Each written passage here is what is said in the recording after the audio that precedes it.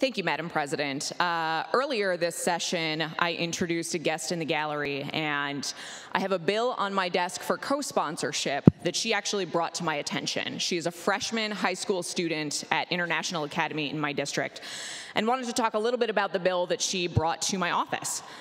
A 2021 study by the Ecological Society of America found that from 1900 to 1950, no microplastics were detected in any fish but in 2018, yellow perch, for example, was found to have eight pieces of plastic per fish on average. These plastics end up in our water, in the fish, in the products that we make with water, like Michigan's craft beer, and the fish that end up on our tables, and ultimately in our bodies. And the long-term effects of these harmful plastics are yet unknown. In a study released just this week, scientists found that infants' bodies contain up to 10 times the amount of microplastics typically found in adults. Tackling this issue is a tremendous challenge. But the bill that I have on my desk today provides a common sense way to eliminate one source of this harmful waste. The bill concept was brought to me by Nisha Singhi, a high school freshman at International Academy.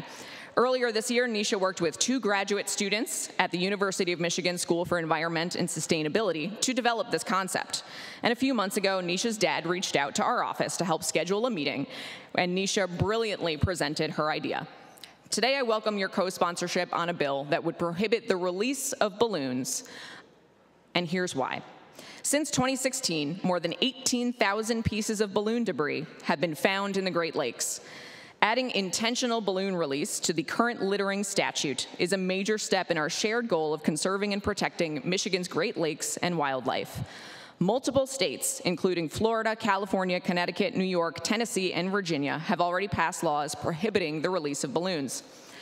Eight other states are also currently considering similar bans.